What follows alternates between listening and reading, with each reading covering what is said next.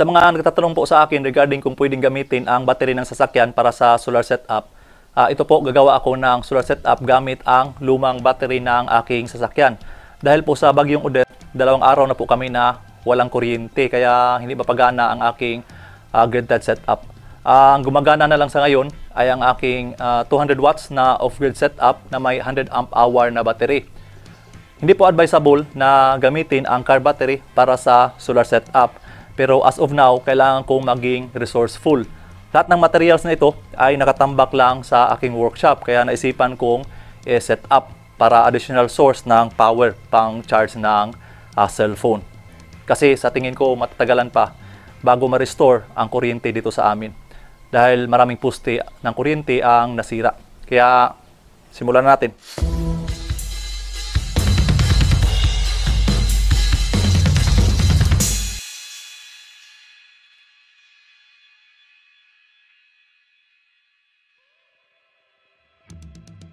So, ang gagamitin ko sa setup ngayon ay itong 20 amperes na PWM solar charge controller. Extra controller ko ito na hindi ko na nagamit. At itong battery na gagamitin ko ay gamit na pero hindi pa ito totally drained kaya pwede pang gamitin para kahit papano mapakinabangan pa natin. Lalo na sa panahon ngayon na wala pang mapagbilhan. Mga tindahan dito sa amin sarado pa, hindi ko alam kung kailan magbubukas. Okay, pakita ko lang sa inyo ang voltage reading ng battery. Ayan, meron pa ang 12.2 volts. Kaya pwede pa nating magamit ito. Naka full charge naman ito bago itinabi. Kaya may laman pa. Close up lang natin para makita nyo. So, ayan, 12.2 uh, volts. Itong solar panel naman na gagamitin ko ngayon ay isa sa mga kauna-unahang panel na nabili ko noon. At dahil nag-upgrade ako kaya naitabi ko ito. Maliit lang kasi ito, 50 watts lang pero sa panahon ngayon, malaking tulong ito para sa amin. Take note pala na ang setup na ito ay hindi nakaplano kaya huwag po kayong mag-expect ng tamang sizing ng wire or tamang matching ng solar panel at battery. Parang survival lang po ito after sa bagyong Odette. So lahat ng materials na ito ay kung ano lang meron ako sa bahay ko. Kailangan na tagang mo para ma-extra na pang charge o para pang power sa maliit na ilaw. Itong case na pala na ito ay hydraulic crimper. Akala ko magagamit ko kaya ko nilabas pero sa tingin ko hindi ko na magagamit ito sa ngayon kaya itabi muna natin. At itabi ko lang muna itong lahat ng mga gamit para hindi magulo.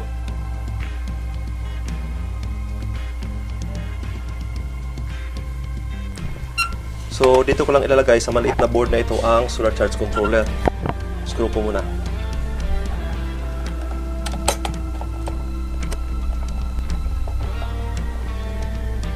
Okay. Dito naman yung rail para sa switch block mamaya at ang terminal block dito sa baba. Itong rail na ito ay pagkakabitan ko ng switch block para at least madali lang i-isolate ang connection. Hindi ko na ito lalagyan ng breaker or fuse kasi nga temporary lang naman.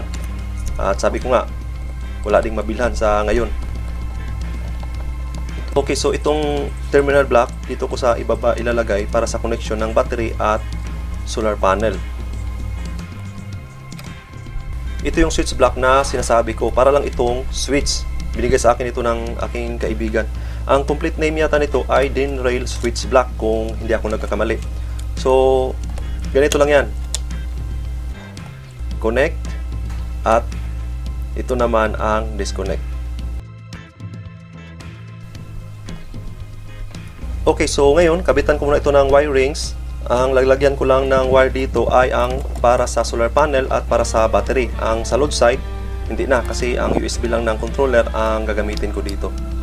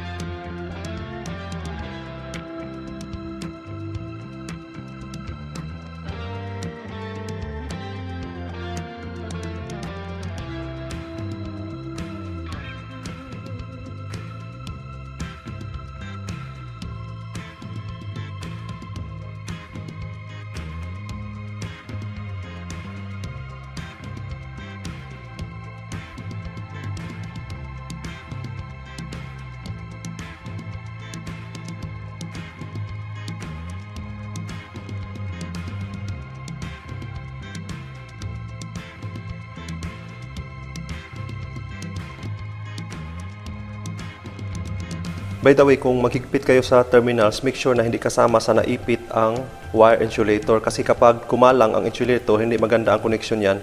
Kung mangyari yan sa malalaking setup, pwedeng mag-init ang terminals at maging dahilan pa ng sunog. So ayan, sa connection, madali lang naman.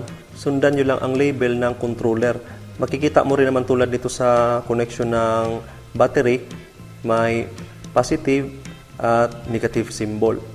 At ganun din sa solar panel, may positive at negative. Ngayon, ang isunod natin ay ang connection from solar charge controller to battery. Ito muna ang gagamitin ko dahil ito lang talaga ang available ko sa ngayon. Papalitan ko rin ito kapag makakahanap ako ng malalaking wire.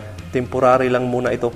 Wala talaga kasi akong ibang wire at ito may clamp na para doon sa battery terminal. By the way, sa wire maganda na mag-oversize kaysa gumamit kayo ng maliit.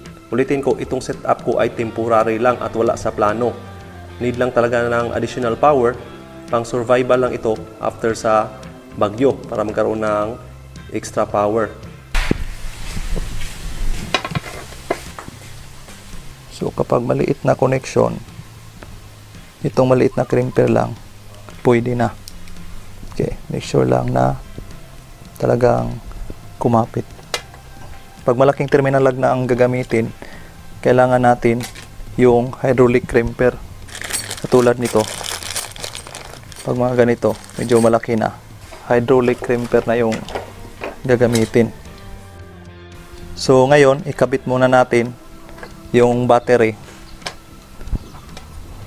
So make sure lang dito kasi pareho siyang black na tama yung connection natin sa positive at negative. So i-trace lang natin. Okay. So ito yung mag-partner. Ngayon, kung mag-testing kayo ng o halimbawa gusto nyo mag-testing ng connection co- or continuity pwede tayong gumamit ng tester Ah, ganito lang po yung pagtitesting. Ilalagay natin siya sa dito na symbol. Ayan yung parang may wifi symbol. Okay. Tapos makikita mo yan dyan. Lalabas yung parang wifi symbol niya. So, pag dinikit mo yan, tutunog yan. Kaya halimbawa, kung mahaba yung wire nyo, gusto nyong i-trace kung ta itong dalawa talaga na to ang magkadulo, so, pwede natin i-testing.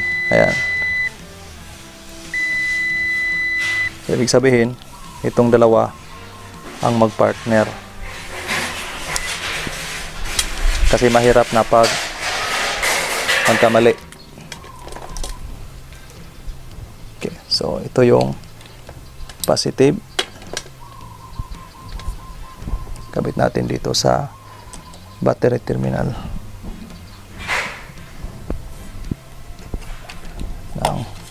Positive.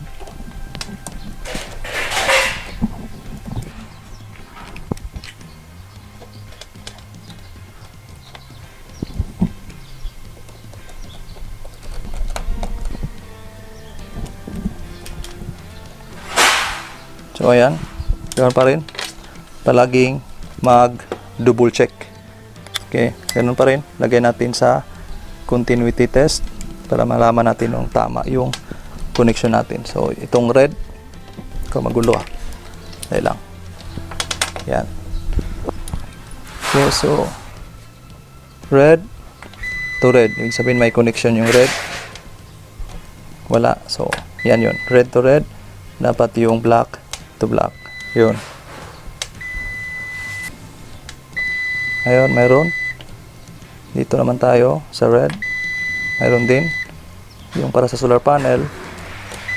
Mayroon din. So, okay ngayon. Subukan natin i-connect. Dapat always check kung tama yung connection. So, yung red sa positive terminal ng battery. Ayan at yung black naman sa negative terminal ng battery. Ayan po. Dapat ganyan. Okay. Then, subukan nating i-switch on. Tingnan natin kung mayroong reading. Sa pag-commission pala, sa off-grid setup, dapat unang i-switch on ang battery. Yun. So, meron tayong 12.1 na reading. Ayan. Kita nyo. Ayun. 12.1. So, ngayon, ikakabit naman natin ang solar panel. Off muna natin ulit.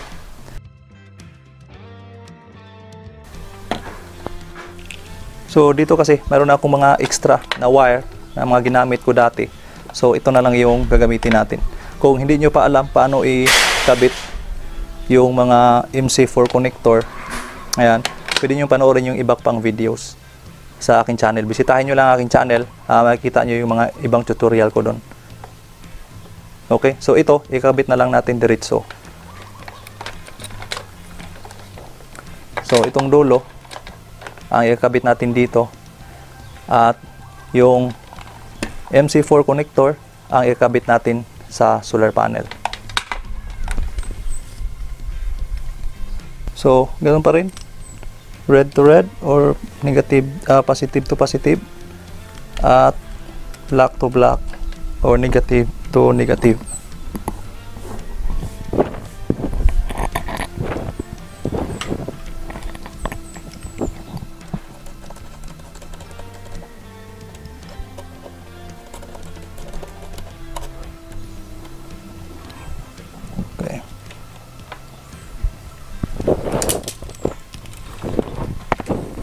So yung dulo, ikabit natin doon sa solar panel.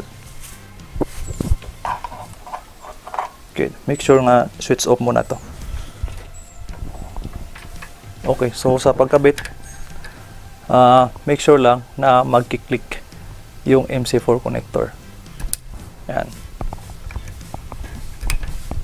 Okay. So yan, kumpleto na yung setup natin. I-switch on natin ulit yung battery. Okay, so una, i-switch on muna natin yung ah, battery.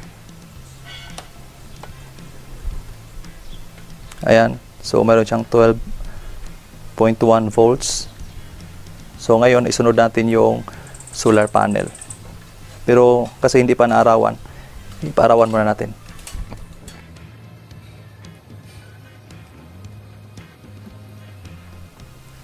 Okay, so ngayon arawan na yung solar panel, pwede na natin i-switch on.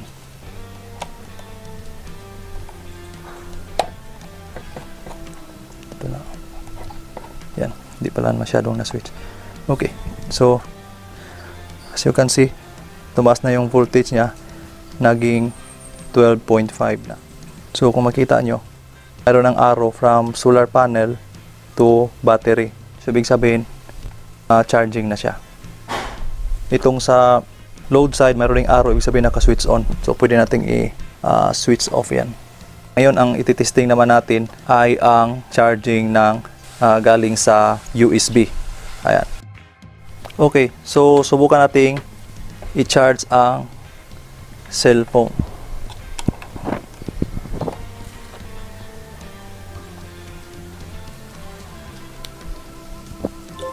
So ayan. Charging na siya Ibig sabihin gumagana yung setup natin. Subukan natin na, naman yung subukan naman natin yung power bank.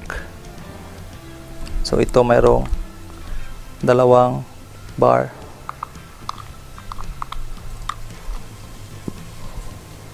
So yan. Charging na rin siya. Okay. Subukan naman natin yung ilaw. Ito, mamurahing ilaw lang to 25 or 50 pesos yung bili ko nito. Pero maliwanag to paggabi. So ayan. Meron na tayong ilaw. So ulitin ko.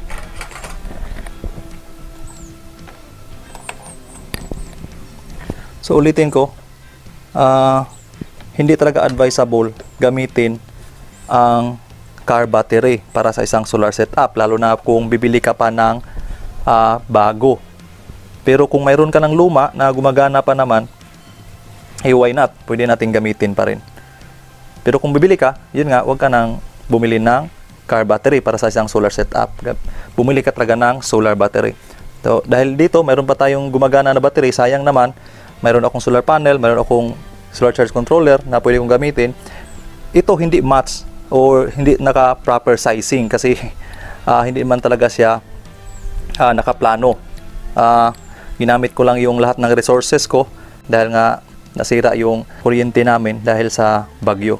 Okay, so salamat sa panonood ng video at kung nagustuhan nyo yung video, please iwanan nyo naman ako ng like dyan at sana may napulot kayong idea sa video ko ngayon at kung hindi pa kayo nakapag-subscribe, subscribe na at huwag kalimutang i-turn on ang notification bell para updated ka sa aking mga sunod na videos. God bless and be safe.